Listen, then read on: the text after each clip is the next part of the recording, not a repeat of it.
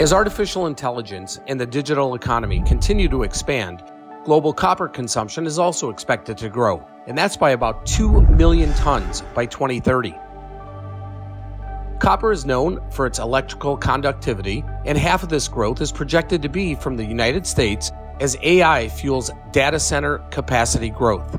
The reality of generative AI's digital capabilities is that the enormous amounts of data required to create human like speech, text, images, and video often has to run through physical hardware, thus, the expected data center growth.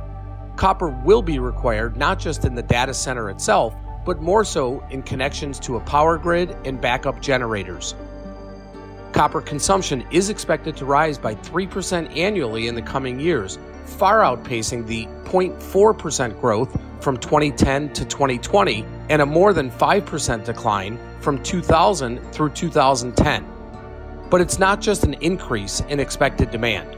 Copper market deficits are predicted for a number of years as mine supply is slow to increase and tougher ESG restrictions have made it more difficult to mine copper, which could push prices even higher over the long run.